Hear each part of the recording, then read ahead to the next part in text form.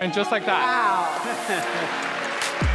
Here at the Adobe Max Sneaks presentations where engineers show potential features they're working on as side projects, and then Adobe might potentially release them as proper features down the road based on reactions to them online. And in this presentation, imagine you can use your generative AI remove tool for photos, but on videos in the same amount of time. That's what Project Frame Forward is. You can remove something using that generative AI remove tool in the first frame of the video, then push one button and it'll remove the same object from the rest of the scene. That girl's gonna be mad as hell she got cut from that. Now the way it works is pretty simple in theory at least. You generally remove something in the first frame or image of the video and just keep removing it in all these subsequent frames or images. Just do it to at least 24 images a second is all. Again, Simple in theory. Now the other thing this tool can do is not just remove the object, but it's aware enough, like the trace erase tool that I made a video on before, to identify what else might have come from the thing that you selected. So in this case, the car drifting on a track is not only deleted, but so is all of the tire smoke. You know, a painfully hard thing to edit out of an image, let alone a video. And while the subject and camera are also both moving quickly.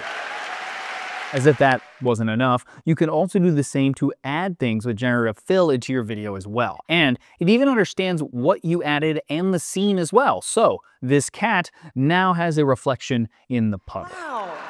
Give me this now.